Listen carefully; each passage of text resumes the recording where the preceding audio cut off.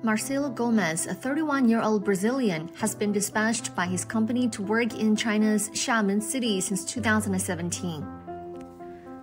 Over the past five years, he has witnessed the development of the city, especially the improvement of business environment in China. I think the business environment in Xiamen is nice, and we have a big port in Xiamen that's very important for China. And I see that there's a lot of opportunities here.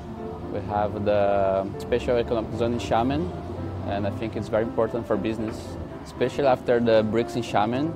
We had uh, more cooperation, more trading business. I can see that uh, business are growing. I think that will get much better in the following years. In Gomez's opinion, the Chinese market is huge and its economy is still growing. He is optimistic about the trade between China and Brazil. We have uh, the biggest market in the world, actually. A lot of people. Brazil sells a lot to China. China is the biggest partner for Brazil. We buy a lot from China. China is always growing, you know. The market here is great.